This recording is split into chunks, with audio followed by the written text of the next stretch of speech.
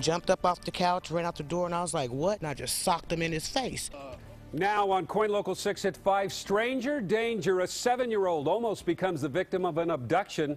Police say quick action by the girl and her mother prevented a much more horrible crime.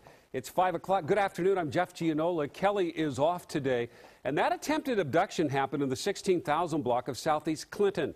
KOIN Local 6 reporter Ken Boddie on the scene with this crime alert. Ken, every parent's nightmare here. And you spoke to the little girl and her mother?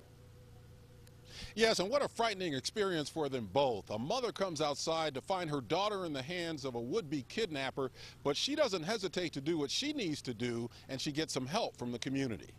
Six-year-old Xaviera Robinson was outside playing with friends Sunday when she says a man police identify as 17-year-old Joel Miranda grabbed her. He saw me, he run to me, and he put his hand over my mouth and told me to be quiet. And then he put his uh, arm over my um, my body and then he pushed me uh, pushed me in the bushes. Xaviera's mom Antoinette heard the commotion and came out to see the man with his hand over her daughter's mouth. And I just socked him in his face and he let her go and then I went to hit him again but he grabbed me and then we rolled down the hill and he tried to kick me and I just I was just socking him. Antoinette says the man started running but she wasn't done. So I went in the house and got a two by four and we got in the car and we found him up here on 164th and soon we pulled up I just got out the car and I just I broke the 2x4 over him and he took off running again. By then neighbors at 164th and Clinton saw what was happening. A bunch of people running